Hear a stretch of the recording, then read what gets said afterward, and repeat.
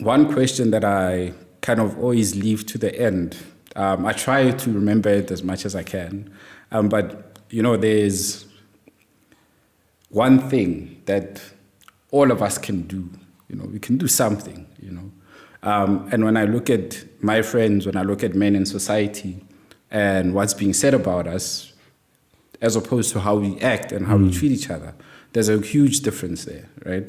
Um, but there's always, like I say, the one thing that we could do better or yeah. more of, right? So um, I think I spoke to Michael Unbroken, who was like, man, you can tell your friend that you love them and don't make it awkward. You don't have to say that no homo, none of that stuff, right? Mm. You can, uh, I think Lecheto had said, you know, give another man a hug and mean it, you know.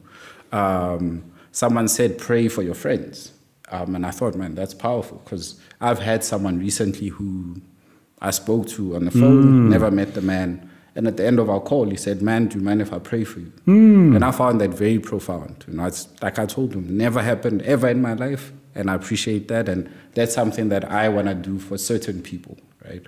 So, in your realm, man, in the men that you meet, in the spaces that you occupy, and the people that you help, um, what could be the one thing that you could say you want to see more of? You know, um, us passing on to the next generation or just being cordial with each other as men, uh, what would it be?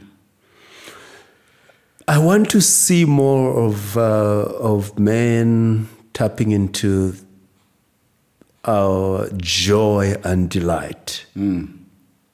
Mm. And I want to see more men gathering to sing and dance and and ritualize. Mm. And this is why I'm sitting here and I'm thinking maybe the next thing that we do together, Hello, is is put a ritual together. Oh man. That that we could record and put it out, maybe maybe a series of rituals. I would love that. Gathering men who are interested. Men mm-hmm. out there, if you're interested, get in touch with Kauhelo, get in touch with me. Mm-hmm. Uh, we've got spaces. Let's create these spaces ourselves and yeah. let's not wait for somebody else to do it for us. Let's create these spaces. I, I think I think we can do something. Like we, this is a ritual that we've just had now. Right. This conversation is a ritual. Right. You know, just having a conversation gathering. Mm. I mean, it's two of us here, but a few more people are going to be listening to this conversation. Yes, but even those who are listening are participating in this ritual that we have created together. Mm. But it would be interesting for us to do a ritual. I would love that. I would love that. You know, that, we yeah. can work towards it. Get some people that will be interested in being part of this, mm-hmm.